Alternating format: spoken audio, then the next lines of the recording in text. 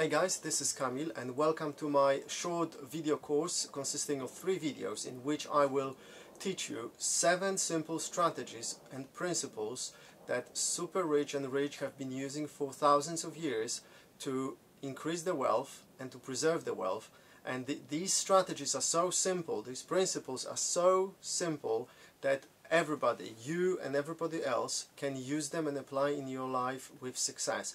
It doesn't matter where you live, how much you earn, what's your education, um, what's the economical situation, what culture around you, doesn't matter. It's been proven for thousands of years that those principles work. So let's start from them. Uh, they, there is a brilliant book, The Richest Man in Babylon. If you don't have it, I suggest you get this book immediately, link underneath the video. Um, that describes those strategies in a very, very interesting uh, and uh, kind of readable way. It's a very easy read, easy to understand. So I will tell you about those principles and I will add a few more things uh, that are more current and things that I've learned from other people. These are things that are being taught by Dr. John Demartini. They were taught by Jim Rohn, who's a, who was a very known millionaire and business mentor. These are principles that Warren Buffett has been using, and, and he's become the richest man in the world as well. Uh, so for that reason, I think it's worth paying attention to those principles. So what is it all about? So let me tell you the most important part of this book. A part of all you earn is yours to keep. So let me repeat that because it's very important. A part of all you earn is yours to keep. And you might think, what does that mean? Of course it's mine to keep. No, it's, it's really not.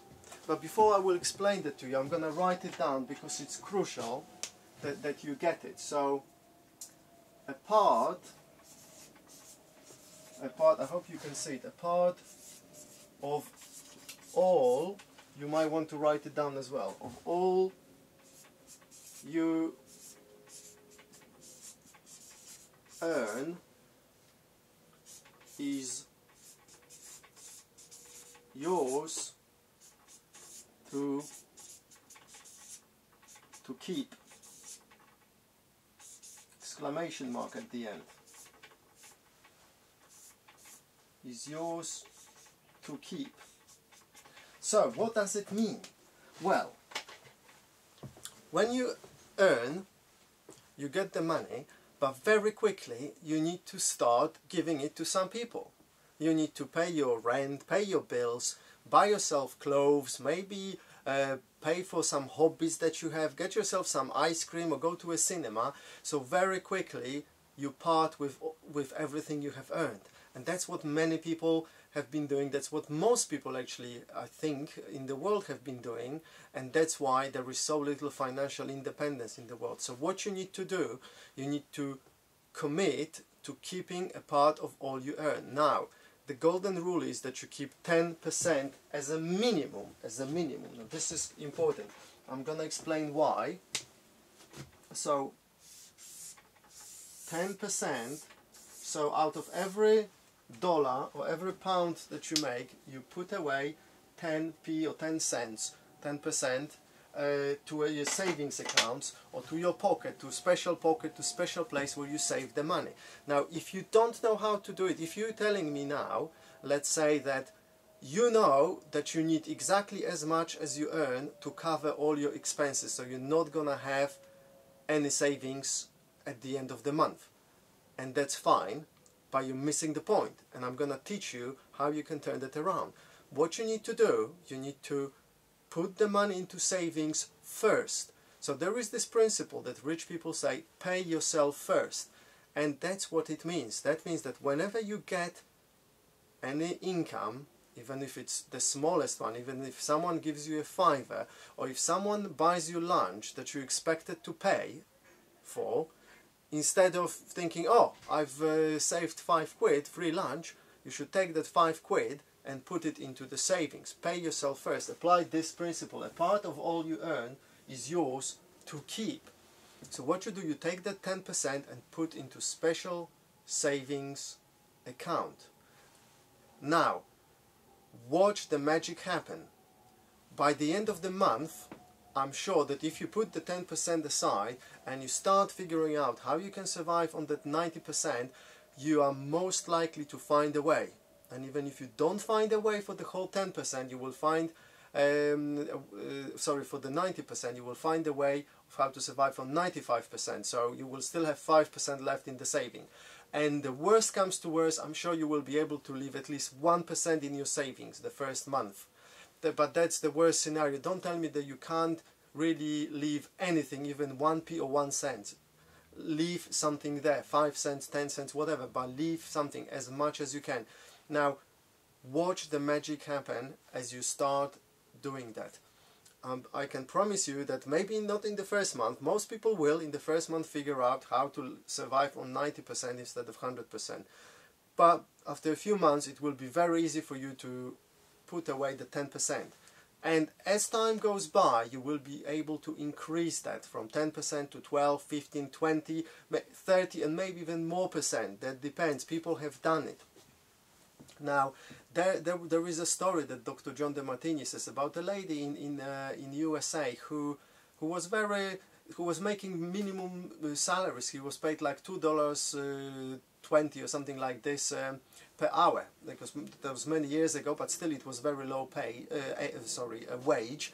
But nevertheless, she saved 17 of everything she earned.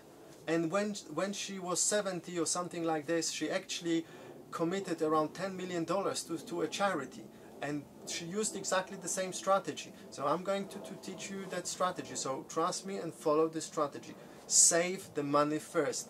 Do, you get the money, do not buy ice cream, do not pay for anything. First, put the money to your savings and only then pay for something else. And you might say, well, well, I'm just making the payment, so what's the difference if I first pay here and, and then uh, half a minute later I put it into the savings? There is a big difference. It's your habit, it's your mindset. You need to remember that you are, you are the most important person in the world. You need to pay yourself first. And you need to affirm it to yourself and to the world. So pay yourself first. If there is a fire at home, maybe you, you first will put the fire out, but the next thing after that, you will actually put the money into the savings. This is so important, so crucial. Your future depends on it. Now you have a choice. You can either continue as you have lived so far and head for wherever you're heading. And if you're not saving money, I can tell you that you're heading for a disaster. 99% of uh, probability. And if you are saving, brilliant, keep going with it, just increase the savings.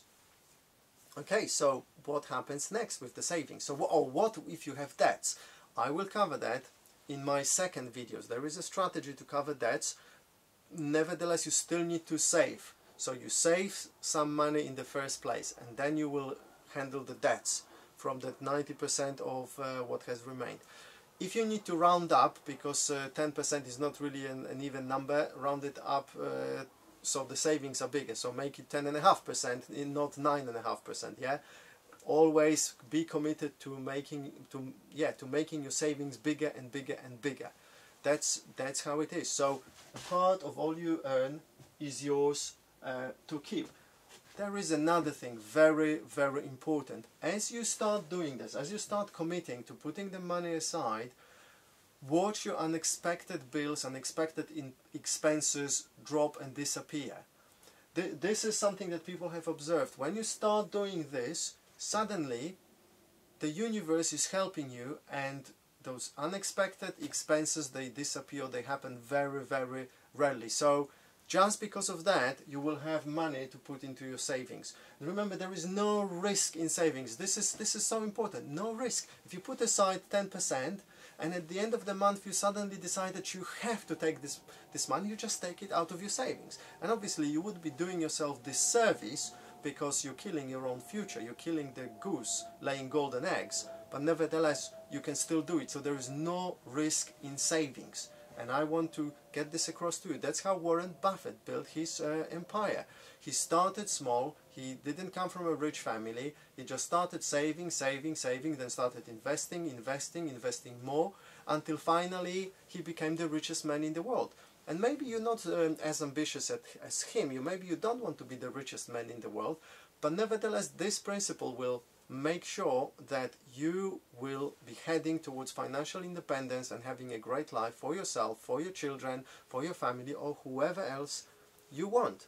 So follow this. So a part of all you earn is yours to keep. Now, why 10%? Uh, well, this is a magical number. There, there is important, uh, something very important another reason why to save and I will talk about this in my next video why you need to save before you actually invest into something that's uh, more risk, risky than uh, than saving. Saving is an investment as well but there are some other types of investments that we more commonly call investments. We normally don't call savings investments. And before you do that you need to save. So remember first save and, and, and by saving you earn yourself a right to invest and, and you invest first in safe things and then maybe a little bit more risky. and you never really invest into uh, very risky things or so-called speculation. I'm gonna talk about this as well in my next videos um, so stay tuned. So 10% is a magical number it's because most people can actually afford to put 10% into savings and survive on the 90%. It's very unlikely that you won't be able to do it even if you think you you you can't. Once you put the 10% aside you will see that you can.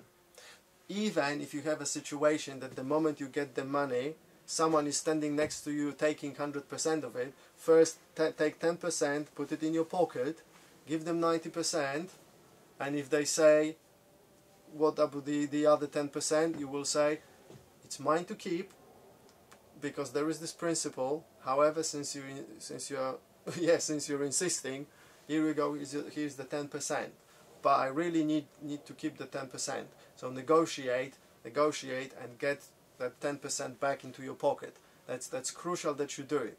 So even if you know you're not gonna get it, still put it in your pocket first, and then give it to whoever you might want to give if you have such an extreme situation. I don't think you, you will, but just you know to show you the importance of the principles of saving 10% of everything you earn, at least.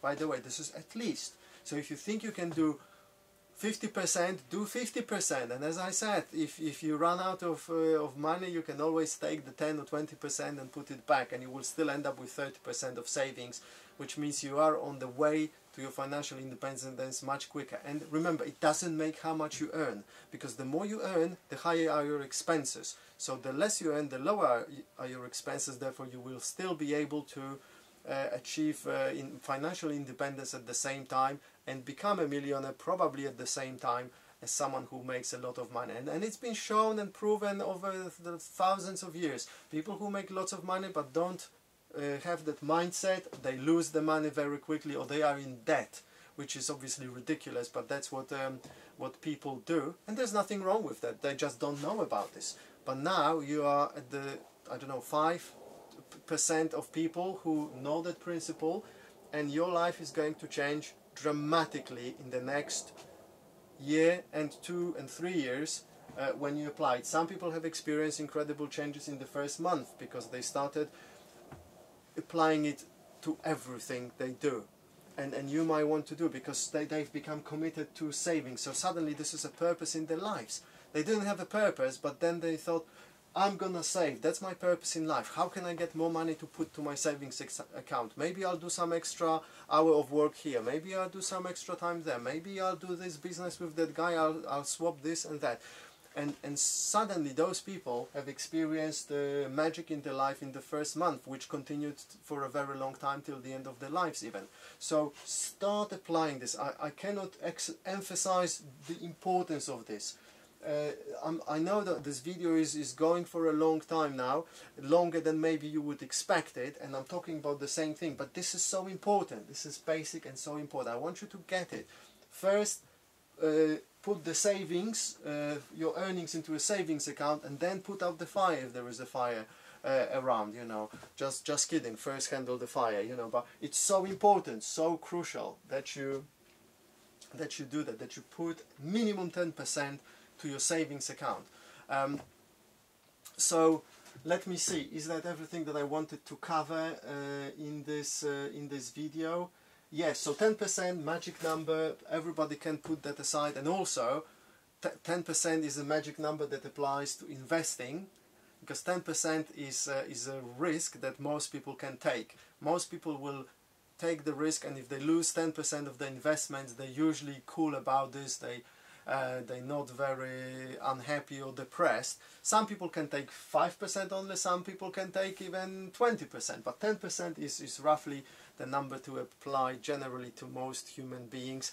By the way, interesting things. Th this might um, change during uh, times of recession. People, when the times are risky, people are, are, are not willing to lose 10%. They will only risk 5%. During the good times, people are happy to risk 20%. So that's interesting as well. But generally, 10% is a is a number that you should aim at. Uh, and remember, you're looking at a long-term strategy. So I think I have covered a lot. Uh, so let's sum up. A part of all you earn is yours to keep. And I want you to repeat it to yourself every day until you get it and repeat it to people around you. Save minimum 10% of everything you earn and you will be on the way to your financial independence, abundance and maybe even becoming a millionaire or like in the case of Warren Buffett, the richest man in the world. Thanks for watching and I'll see you in my next video uh, in this series. Thanks for watching, like the video, subscribe and share it with others. Take care.